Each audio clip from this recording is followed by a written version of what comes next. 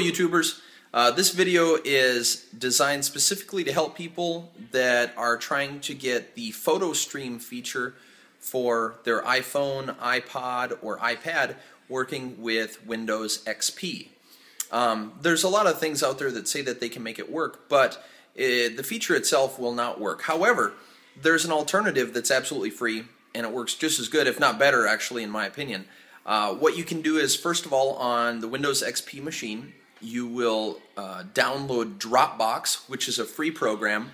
Make sure that you download it directly from their website because you don't want to download it from some random source and get a virus. Anyway, after you've installed and configured Dropbox and you've got a username and password, which is part of that setup process, you're going to then go ahead and go to the um, iTunes App Store on your phone or iPad or iPod, and you're going to install Dropbox. And when you install it, it's going to ask you to log in. As soon as you log in, you'll be able to access the Dropbox files that are on your Windows XP computer.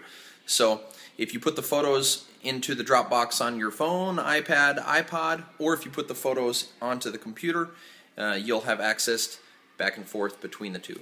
So um, it's actually a better solution than the photo stream anyway. So uh, there you go. Hope it helps. Have a good day.